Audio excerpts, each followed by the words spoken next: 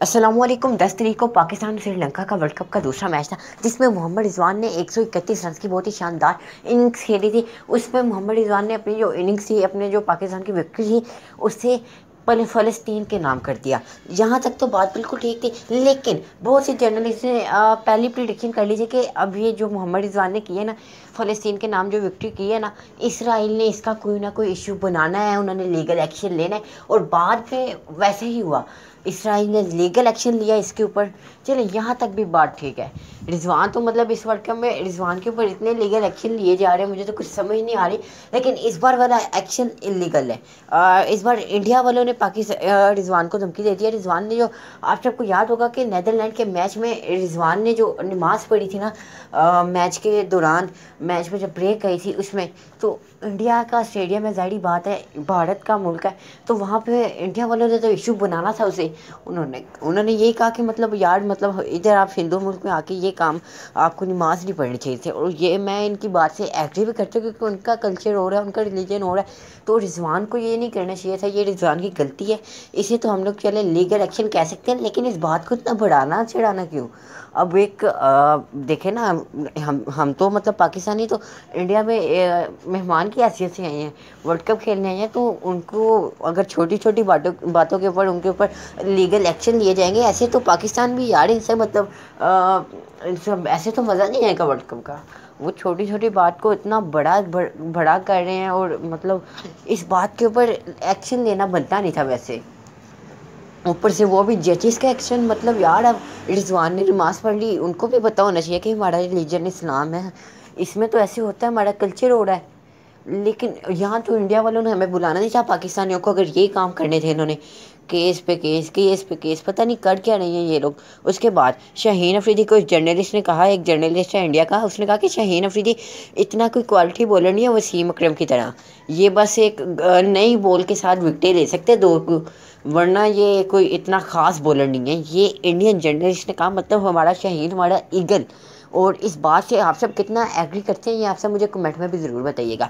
अगर मेरी बात सुने तो बिल्कुल वैसे सही क्या है, क्योंकि मैं हूँ तो वैसे पाकिस्तानी पाकिस्तानी टीम को सपोर्ट करता हूँ, लेकिन ये बात उसने बिल्कुल सही किया कि वो न्यू बॉल होती है ना जब तब शाहीन विकटे ले सकता है। लेकिन बाद में वो इतना कोई क्वालिटी बॉलर नहीं है कि नसीम चले गया तो नसीम की जगह वो संभाले। ऐसा नहीं हो सकता। नसीम की जो सीम थी ना वो नेक्स्ट लेवल थी। इस बात से मैं बिल्कुल हंड्रेड परसेंट एग्री करता हूँ। बहुत सही बात की है। और शाहीन इन आप सबको अगले मैच में उम्मीद कर सकते हो कि शाहीन अफरीदी का भी कम हो जाए क्योंकि यार ज़रा बड़ा डाउन डाउन सा जा रहा है आजकल। इंडिया के मैच में तो चले अच्छी बॉलिंग करवाई थी, थी उसके बाद।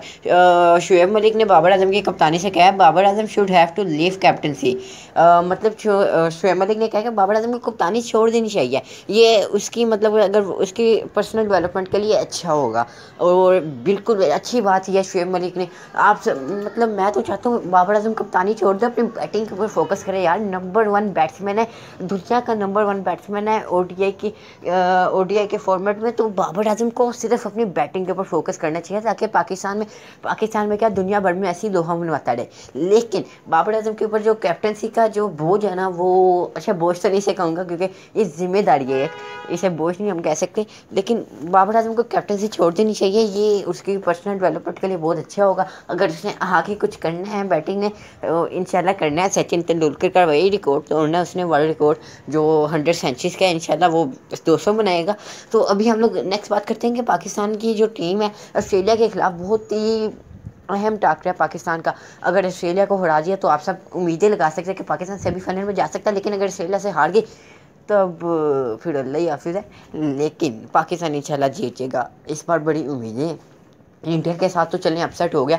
मैंने आप सबको वर्ल्ड कप से शुरू में कहता हूँ, हर वीडियो में कहता हूँ कि ये टीम ऐसी है कि एक मैच जब बड़े मार्जिन से हारती है ना तो अगला मैच ऐसे हराती है कि जो लोग इस टीम से दुखी होते हैं, वो भी खुश हो जाते हैं। तो इन ऑस्ट्रेलिया के मैच में भी आप सबको कोई अपसेट वगैरह नज़र नहीं आएगा। उसमें दो बड़ी तब्दीलियाँ हो चुकी हैं। फ़खर जमान की वापसी हो चुकी है। फ़खर जमान को जिनको नहीं पता कि उससे छोटी सेंचुरी हुई थी और उसामा मीर को फीवर था। लेकिन अब वो अच्छा महसूस कर रहा है। और इन आप सबको नेक्स्ट मैच में उसामा मीर भी नज़र आएगा, फ़खर जमान भी नज़र आएगा। Fakhar Zaman I think so के इमामुल हक की जगह फ़खर जमान को रखना चाहिए। या फिर अब्दुल्ला शफीक की जगह रखना चाहिए, क्योंकि यार अब्दुल्ला शफीक से तो मुझे बड़ी एक्सपेक्टेशन थी यार कि, लेकिन ये वही बात हो रही है कि पाकिस्तान के पास जब कोई मर्जिंग टैलेंट आता है, एक दो मैचेस में ऐसा चलता है कि मतलब यार ये ये बाबर से भी आगे, कोहली से भी आगे, कोहली वगैरह इसके सामने कुछ भी नहीं। लेकिन अगले मैचेस में वो मतलब उसकी परफॉर्मेंस डाउन हो जाती है। कैसे होती है? दूसरी टीम उसकी कमज़ोरी पकड़ लेती है। और अब्दुल्ला शफीक के साथ भी बिल्कुल ऐसे ही हो रहा है सौद शकील के साथ ऐसे हुआ है। उसकी कमज़ोरी दूसरी टीमों को पता चल गई। और बाबर आज़म की तो ज़ाहिर बात है सबको ही पता है आ, उसकी कमज़ोरी क्या है। तो अभी हम लोग यही बात करते हैं कि पाकिस्तान जीत सकते हैं ऑस्ट्रेलिया के खिलाफ के नहीं। इंशाल्लाह बड़ी उम्मीदें जीत सकते हैं। और साउथ अफ्रीका अगर अगला मैच हार जाता है तो भाई, उसमें हमारा ही फ़ायदा है, क्योंकि ऐसे साउथ अफ्रीका, इंग्लैंड, पाकिस्तान एक ही लेवल पे आ जाएँगे। मतलब कि तीनों, दो मैचेस जीते हैं और एक हारे। और मैं भी यही चाहता हूँ, भाई, साउथ अफ्रीका हारे। साउथ अफ्रीका फिर हारे और फिर साउथ अफ्रीका वैसे इंडिया से भी हार जाए, पाकिस्तान से भी हार जाए, साउथ अफ्रीका बाहर हो या फिर इंग्लैंड बाहर हो, पाकिस्तान बाहर ना हो। एटलीस्ट हम लोग सेमीफाइनल में तो जाएँ। मतलब हमने जब पाकिस्तान वापस जाना है सेमीफाइनल हार के तो इज़्ज़त तो होगी ना कि वर्ल्ड कप के दो वर्ल्ड कप दो हज़ार तेईस में हम लोग सेमीफाइनल तक पहुँचे थे। तो आज की वीडियो को यहीं पर समअप करते हैं। मिलते हैं अगले वीडियो में। तब तक के लिए अल्लाह हाफिज़।